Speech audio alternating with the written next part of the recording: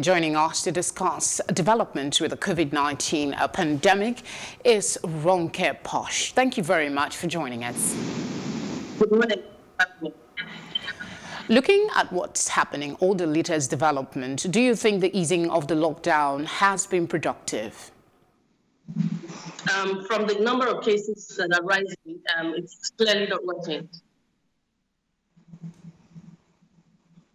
What are your observations on the use of the face mask and the level of compliance?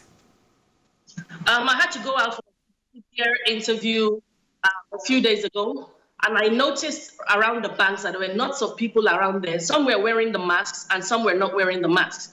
People were touching the masks, so people don't know how to use the mask. When they want to laugh, they remove the masks. So the compliance is not is not even near 50% from what I observed. People don't know how to use the mask.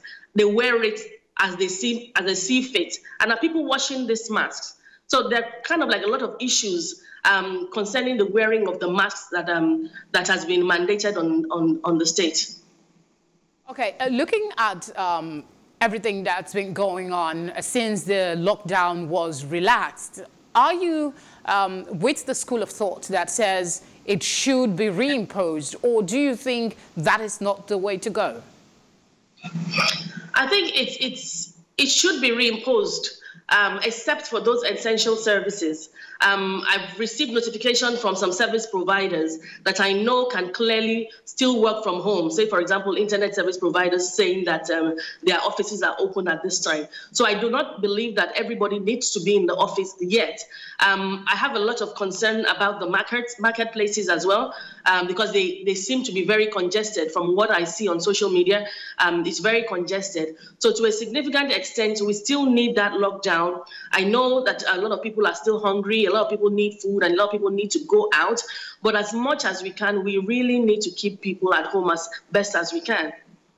A lot of monies have been donated in efforts to combat the spread of the virus. How would you access the level of transparency and um, um, utilization as regards uh, the management of the fund? Um, with regards to the management of the funds, I do not think it's transparent enough. I've not seen, um, I'm not, I don't know where to go probably, but I've not seen anything online. As a matter of fact, I saw a, um, a a clip on social media where money was being shared in cash. And I wondered what happened to people's account numbers. So I do not believe that it is, um, there's a lot of transparency around the money that is being, um, that is being allocated. And I personally don't know anybody that has received anything.